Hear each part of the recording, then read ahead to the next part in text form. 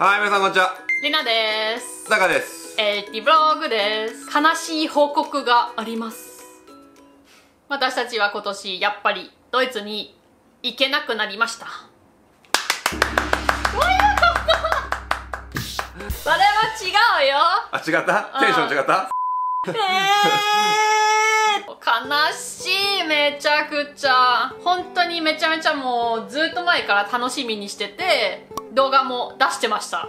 ドイツに行きますって。そうだね。いろいろプランニングしてましたね。ただ最近のコロナ状況を見て、まあ、ドイツで爆発してるっていうところもあって。もうすっごい爆発してる。私基本的にクリスマスに行くのが大好きで、家族と一緒に過ごしたい。だからまあ去年のクリスマスも行けなかったしその前のクリスマスでその前のクリスマスも行ってないしもう3年4年ぐらいクリスマスドイツ過ごしてない。だから今年こそまあコロナ落ち着いてるから行きましょうという感じで飛行機も予約して仕事を休むことを決めてタカも仕事会社で休みますよって。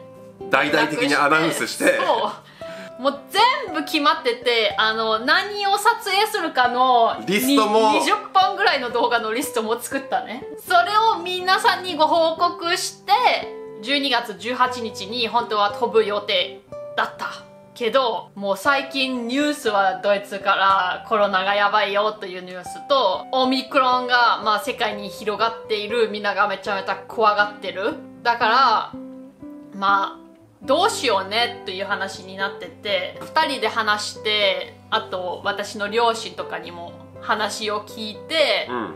うんやっぱり行かない方がいいんじゃないっていう結論が出ました。3ヶ月ぐらい前までは全然いけるっていう状態だったけどね。本当に今年はいけるって思ってたけどちょうど1ヶ月ぐらい前からあれ？雲行く怪しいなってなって。そう。あれドイツ爆発中だな。オミクロン出てきたな。あーやばいぞやばいぞってなって。もうドタバタドタバタでいや今回は無理だねって。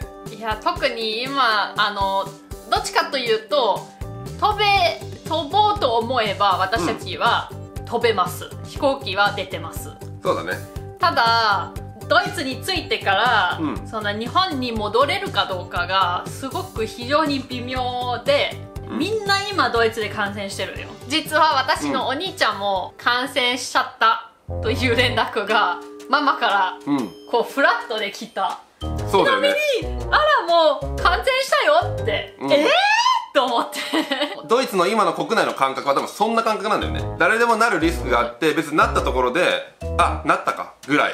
そう本当にやのばい。感覚なんだよね。連絡の仕方としてはね。あそう。でき聞いたらあのお兄ちゃんに連絡したら「あい今ちょっとまあ家に行って、うん。そこで2週間隔離しなきゃいけないよ」っていう連絡があった、大丈夫大丈夫みたいなでレナのお兄ちゃんは一応今ミュンヘンで住んでて仕事をしてるからもう本当にコロナ爆発のど真ん中にいるみたいな環境だよね。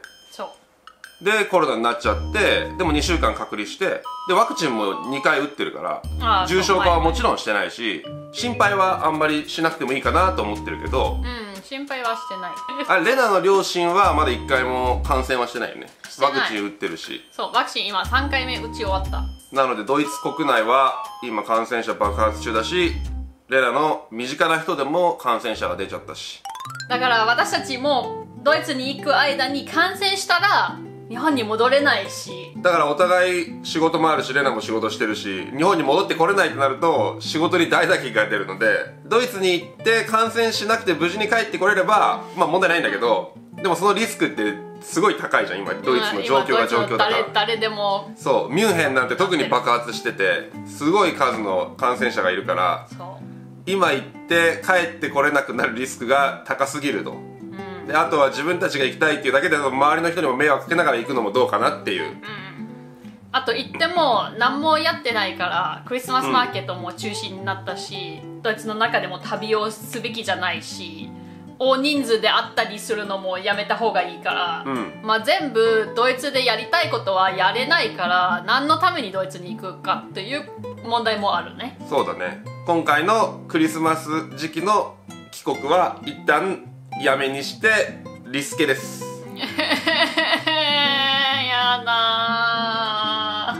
悲しいよ。まあその代わりに今おばさんがクリスマスクッキーまた送ってくれるし。えそうなの？そうだよ。もう一回両親からもらったよ。そうこんぐらいの段ボールいっぱいに。動画見てない方はぜひ見て私のください。両親も 2, つ目のパッケージ今準備してると思うよ。大丈夫。そう一旦ストップして。いやいやいや。一旦ストップで。欲しいよクリスマス。そんな食べれないよ。いやいやでもクリスマスプレゼントとかもちょっとなんか2345あたりでも私たちどこかで旅をすることを決めた、もう仕事は休むっていうふうにもともと言ってるから ドイツ行くっていう予定で仕事はがっつり休みの許可をもらってるからこの休みをどうやって楽しむかっていうところに今頭をシフトしていろいろプランニングしてます。だから私たちはまたこの LT ブログチャンネルにもいろんな楽しいことがアップできるかと思いますのでドイツはまた後で来るけど日じゃあいつ本の中で行くかって話だねドイツにだってドイツのコンテンツを楽しみに待ってくださってる視聴者の方もいるから。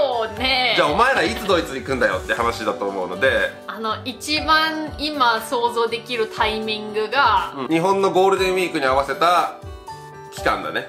でそこで前後ちょっとお休みもらって長期連休にしてドイツに行くっていうのが今最短のリスケプランですよね、うん、ただコロナはそれまでどうなるか全くわからないし、だから全然23ヶ月後とか先読めないんでうんでも一旦次のターゲットは春先4月5月ぐらいに行けたらいいなと思ってます。でも私たちは前向きで基本的にポジティブな感じだから、まあ、今は行けないからで4月にドイツに行けたらいい。行けなければ、まあ、ゴールデンウィークも日本で楽し,、楽しく過ごすみたいな感じで。